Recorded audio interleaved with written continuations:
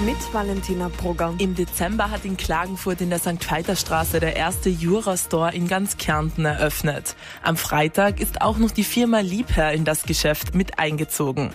Kaffeemaschinen und Weinkühlschränke unter einem Dach. Ingo Bender, Geschäftsführer. Wir haben ähm, auch 15 verschiedene Kaffeesorten, die der Kunde bei uns probieren kann. Und wenn er möchte, kann er nach oder einen guten Wein in unserer Weinabteilung genießen. Also alles rund um den guten Genuss. Für alle Jura-Kunden gibt jetzt auch die Möglichkeit, eine defekte Kaffeemaschine für einen Pauschalpreis vor Ort reparieren zu lassen. Aktuell beträgt die Wartezeit rund zehn Tage.